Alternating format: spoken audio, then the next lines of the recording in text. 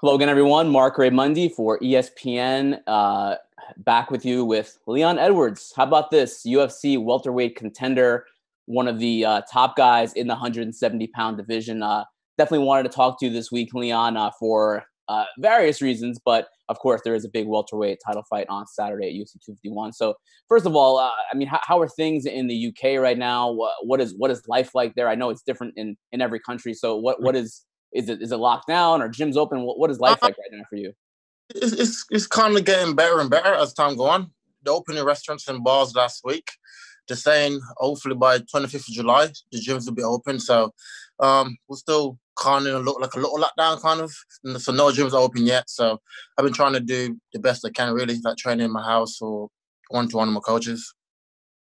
And and when the gyms open, uh, I guess you'll be you know on day one you'll be you'll be right in there. Yeah, for sure. Yeah. Yeah.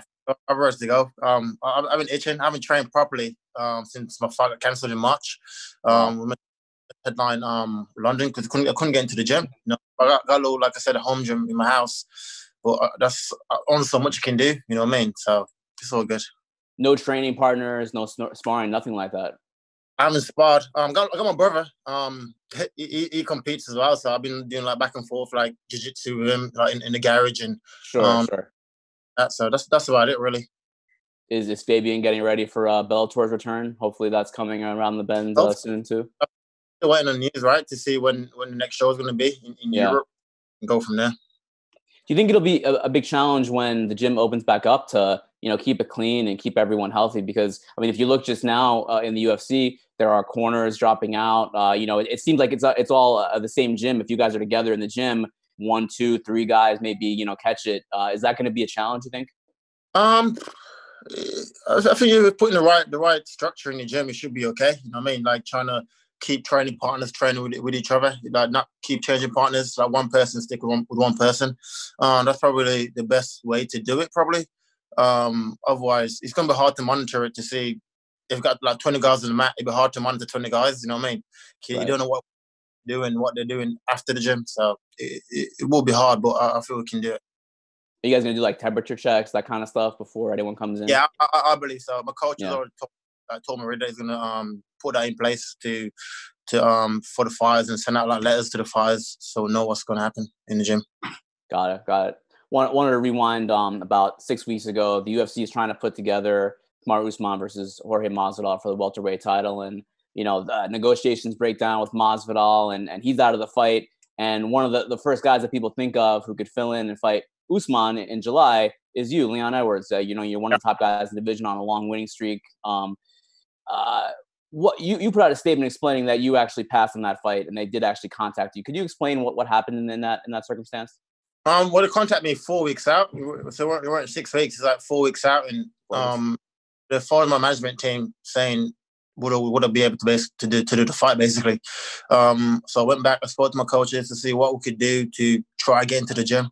Um, to see if we can get some training partners together and train, and it, it wasn't possible to get done.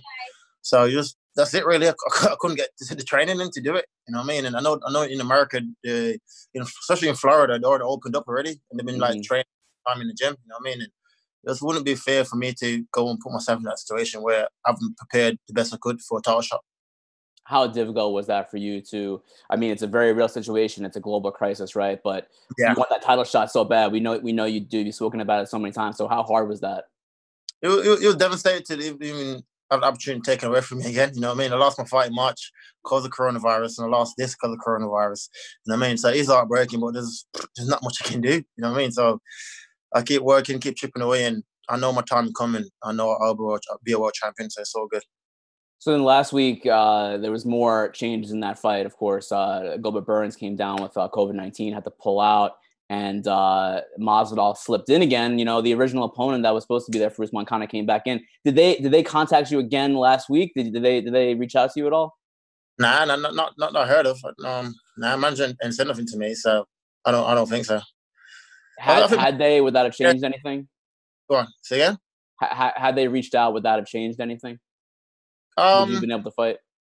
Probably not. I'm probably way too heavy to even fight in a week on a week's notice. Probably not. But I'm looking forward to fighting the winner, the winner of this fight. So I'm watching closely on Saturday. Yeah, that's my next question. Is that is that kind of kind of title fight or bust at this point for you? Is that is that 100 percent what you want? Um, I feel so. I feel so. I've done enough work to to prove my case. You know I mean? I'm on eight fight win streak, second most to the to the current champion now, Usman. You know what I mean? So I, I feel like I deserve a title shot. I only lost my opportunity because of coronavirus. Um, same as Burns, he lost the opportunity because of coronavirus. You know what I mean? Right. I was the first person mentioned to to to get the fight, so why not put me in in the place again to to compete again? So I, I truly believe I, I deserve it over everyone it's so crowded right now at the top of that division, and and Burns is kind of like a newcomer to that mix because yeah. he had the two the two big wins recently. I mean, it's got to be the best division, right? I mean, in in the UFC. I mean, I know 50, uh, 55 is great, 45, 35, but I mean, at 170 right now, it's pretty it's pretty stacked. Yeah. You know that for a while. I've been quite stacked now for a while, but it's good to have like a little bit of movement now in the division. As before, it was like all stuck, right? Nobody wanted to fight nobody. So now Masvidal's fighting Usman. Let's see how that plays out on the weekend, and we'll go from there. And what do you think they do end up doing with Burns? Do you think he, you know, fights somebody else in the meantime, and then you know maybe a title shot later on? Yeah, maybe give him Colby. Probably, probably give him one more. Let him fight Colby, and then I'll fight the winner of um, Saturday. Then from that, I, I, we'll go from there. But I, I, I believe he, he should have one more, um, one, one more fight. This fight um, on Saturday, uh, you know, on Fight Island has to be really interesting for you because you kind of have a story with both men in some ways because you fought Usman before, and you know he's yeah. he's he's he's spoken very highly of you, and and he's spoken of you as as the top contender. And then you have you know Jorge Masvidal, of course, you had that incident with last uh, last year in London. How do you see that that fight playing out? Um, I don't know. I don't. If I have to bet, if I bet my money on it, I probably go Usman. Um, because he's, he's a more well-rounded fighter. He's, He's bigger, he's stronger, he's been he's been more active. So I'll probably go Usman probably for the um, victory. But no though. He's got he's got puncher's chance, right? So you can go in there and look at him to Ben Askren. You know what I mean? You can go in there and spark him. You, you never know. So, but if I had to put money on it, I'd probably go Usman. Do you think you think it, will be a, a, wrestling versus striking type of uh, matchup? Mm, yeah, I believe so. Uh, to be fair, Usman been trying to strike a lot lately, so I don't know. It depends on what game plan um, he has going into the fight. I know everyone's talking about Masvidal going in on a late notice. Mm-hmm. You got to been training for Usman for the last two two to three months. He's been posting on his social media, training wrestlers and doing this and doing that, the wrestlers. You know what I mean? So been preparing for this fight for the last two to three months, which Usman been preparing for two people, Burns and, and Masvidal. So it, it's interesting to see what, what happened this weekend. So you think that the discussion of of you know Masvidal coming in on short notice is a little bit overplayed? Do you think that he's already yeah. he's already he's ready? Yeah, hundred percent. He's been posting like he's training wrestling training for, for months for Usman. You know what I mean? So that's all just smoke screens and me is just something it's not. So if if Usman were to win, uh, as you as you think as you're picking, uh, do you think it's a decision? Yeah, probably decision or finish finish him late. Probably. Um, yeah, probably like four or five. If it, if it does get a finish, it'd be, it'd be four or five, like late. I don't think of it'd early. So that's your that's your your your prediction. But do you have like a desire as to who you'd actually want to fight next? Like, would you rather fight Masvidal? Uh, I don't know. Usman the last guy that beat me in competition, right? So mm-hmm. I don't know. Probably beat Usman then defend against Masvidal or either or. I, I couldn't care less who wins. Um, I, I I'm number one and I, I couldn't care less. Masvidal told uh, Ariel Helwani the other night that if he wins the title from Usman, he's looking at you know Nate Diaz as a as a you, you already know what I'm going to say. You're looking at Nate Diaz as a top contender, looking at Stephen Wonderboy Thompson as a as a as a top contender. Obviously, they're great fighters, but how does that make you feel as someone who who has that long winning streak in the division? Um, the guy is a, is a clown. So if, if it does win, he, he's already said what he's going to do. You know what I mean? He's going to fight guys not even in top five. Um, he's going to fight Nate Diaz. Is basically a, a, just a tough journeyman. Um, going to fight um Wonderboy got knocked out by, by lightweight This doesn't make sense what he's saying. What what he's going to do if, if it does win? You know what I mean? So, um, I don't know. Let's see. Let's see what happens this weekend. Gilbert Burns said the same thing the other day about this in the interview. Uh, he's he's rooting for Usman not because he's just his teammate, but also because he feels like the division may turn into a circus if, yeah, if Masvidal is the champion. Is that yeah, how you feel as well? Well, for hundred percent. He's already he's already said it. He's not fighting no one in no one in the top five. You know what I mean? So if you're the champion, you're not fighting no one in the top five, then it's one big joke. It's not really. It's fake, right? So I don't know. One one would think because the history that you guys have, and there is a legitimate beef there. That Masvidal would want to fight you because there is money in that matchup. One one would think. Why do you think he doesn't say your name?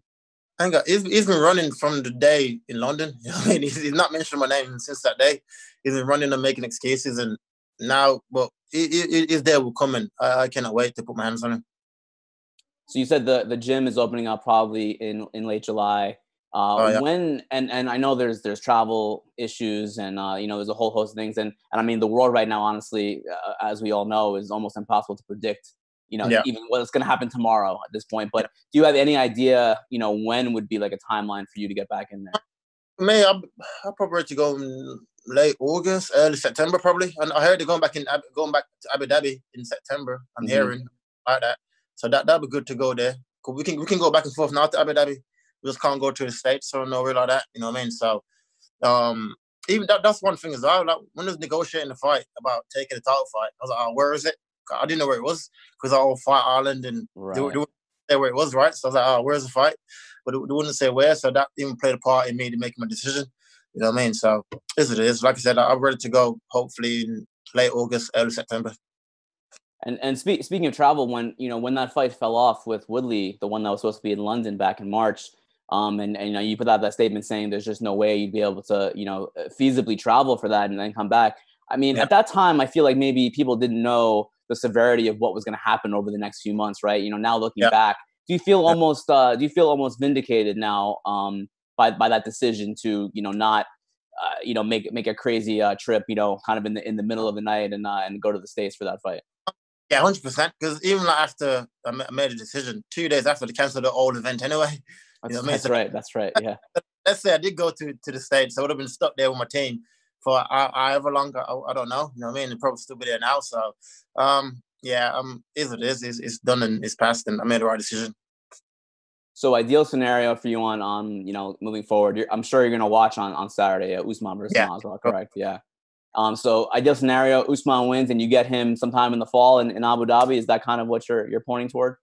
That that that would be perfect. That'd be the perfect scenario for um if that happens. Because I know if Masvidal wins, he, he probably won't fight now till like another year, and we're calling out every everyone apart from the top five un, under the sun. You know what I mean? So um that that'd be the perfect scenario. I have one more question for you. Um, there's another interesting fight. It's not in your division, but it's a guy that is uh, a countryman of yours, Darren Till, coming up against uh, Robert Whitaker in a few weeks here in Abu Dhabi. Uh, really interesting middleweight fight. How do you see that one playing out? That that's one of the more interesting fights of, of the of the month for me for the, with those yeah. two guys. Um, I think I think Darren Darren gets it done. I think I think Darren gets it done. He's he, I think he wants it more. I know Whitaker's coming out lately saying, "Oh, he's not really feeling fighting and blah blah blah." You know what I mean? So I think for I think Darren gets it done for skill set wise, and um, he's more hungry for the for the victory probably. So I'll probably give it to Darren. And plus, me and Darren now will start like a charity. Um, me, him, and oh. Jimmy me, me, Jimmy, and Darren for knife crimes in the UK. Um, so we're all together now trying to um, control knife crimes. We all lost um, people, like friends to knife crimes, and um, Darren himself has been involved in, in, stabbings and stuff. You know what I mean? And it's a very big issue in the UK, and um, we all come together now to try sort out something to help the youths in the UK. That's awesome. Do you, do you have a name for the for the charity yet? Oh, not yet. Which was still literally today. It was like Jimmy Jimmy Manuwa phone today. He's like, oh, we need to create a name for the charity. But we got everyone on board. We got UFC on board, and um, got talking to the police in, in, in, in the UK, and they're they're on board, and so it's, it's a positive thing, and it's, it's moving forward. You know what I mean? So I look forward to it blossoming more and, and, and getting action done. And all three of you guys live in, in different cities as well, so that could you're, you're kind of spread out, yeah. Exactly. This and the three cities is like Manchester, um, Liverpool, London, and Birmingham are the three major cities in the UK, right? And it's right. the more violent cities in the UK. So for us to come together and to say, "Oh, let's try help the kids and try um get you can save one kid, it, it would be great." You know what I mean? So um, that's our aim, and that's what we're trying to do. Please uh, keep us uh, in the loop on all that stuff and, and what you guys end up doing, right. so you know we can we can amplify that and, and let UFC fans know, so so they can uh, they can help out as well. Um, that, that's all for me, man. Uh, Leon Edwards, thank you so much. Really, really appreciate taking the time. I know, I know you're busy. Uh, good luck with everything. Hope you can get back in the gym you. soon. Stay safe, stay healthy. Same, brother. Same to you. Look after yourself. Thanks. Thank you for watching ESPN on YouTube. For live streaming sports and premium content, subscribe to ESPN Plus.